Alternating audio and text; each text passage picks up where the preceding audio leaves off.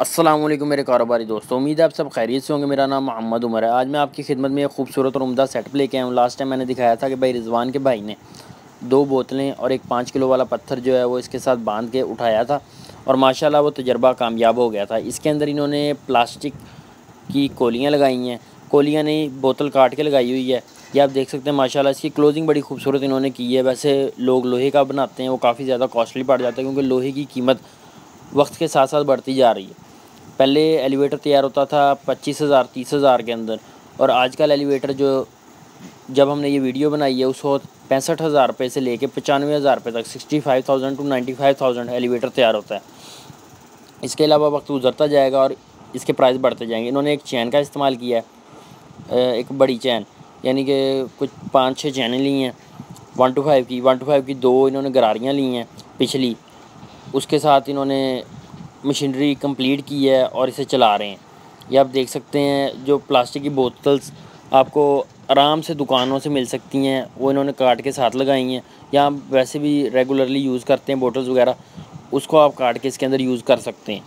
और माशाल्लाह, बहुत इजीली चल रहा है ये सेटअप नेक्स्टली ये इसे दाने डाल के रन करेंगे, इसके अंदर जो खामियाँ होंगी या खूबियाँ होंगी, वो भी हमारे साथ डिस्कस करेंगे, इंशाल्लाह वो भी हम अपने दोस्तों को बताते रहेंगे। ये ऊपर एक साइड पे इन्होंने छोड़ा हुआ है, जिसके अंदर से दाने सीधा आपकी चक्की के अंदर जाएँगे। इसका जो है, वो बहाव नीचे को है, इसको थोड़ा सा बैंड करके लगाया हुआ है। और क्लोजिंग आप देख सकते हैं, माशाल्लाह बहुत खूबसूरत है। इन्होंने ज़्यादा ख़र्चा नहीं किया। इसके ऊपर मुकम्मल जो ख़र्चा आया है, अंदाजे के मुताबिक वो बारह हज़ार का आया है। अगर कोई दोस्त भाई इसे तैयार करना चाहता है तो बेशक इसे तैयार करे, अपनी मशीन के लिए तैयार करे। भाई, जो है वो कहते हैं कि हम इसे तैयार करके सेल नहीं करने वाले। हम सिर्फ़ अपनी मशीनरी के लिए तैयार कर रहे हैं, अपनी मशीनरी के ऊपर इसे यूज़ करेंगे। हर एक भाई, दोस्त से अपील है कि अगर वो तैयार करना चाहते हैं तो अपनी मदद आपके तहत, अपना सेटअप जो है वो तैयार करें। इन मज़ीद मालूम जो है वो इसके बारे में हम आपको देते रहेंगे।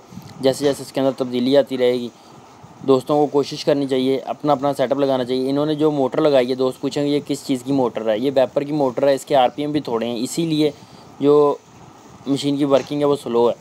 हाँ अगर आप मशीन की वर्किंग बढ़ाना चाहते हैं तो आप बड़ी मोटर का भी इस्तेमाल कर सकते हैं। बारह वोल्ट के अंदर बड़ी मोटरें भी आती हैं, उनका इस्तेमाल करके तो आप वो भी चला सकते हैं। तो इन वो अभी आपको जो है बेटर वर्किंग देंगी, उसके अंदर भी आपको फ़ायदा होगा। इसके अलावा आप देख सकते हैं, माशाल्लाह काफ़ी अच्छी मशीन है। अल्लाह इन्हें जजाय खैर दे। इन हम मज़ीद भाइयों की अच्छी वीडियोज़ लेके आपकी खिदमत में हाज़िर होते रहेंगे। मुझे इजाज़त दीजिए। अल्लाह निगेबान। असलकम